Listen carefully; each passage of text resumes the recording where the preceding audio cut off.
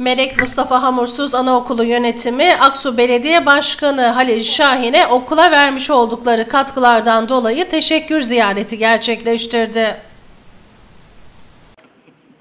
Çok güzel. Okul Müdürü Elif Yıldırım öğretmenleri ve öğrencileriyle Başkan Şahin'i ziyaret ederek desteklerinden dolayı teşekkür etti.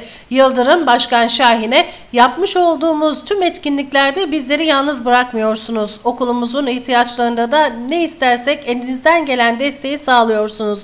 Bize sahip çıktıkları için sizlere teşekkür ediyoruz dedi.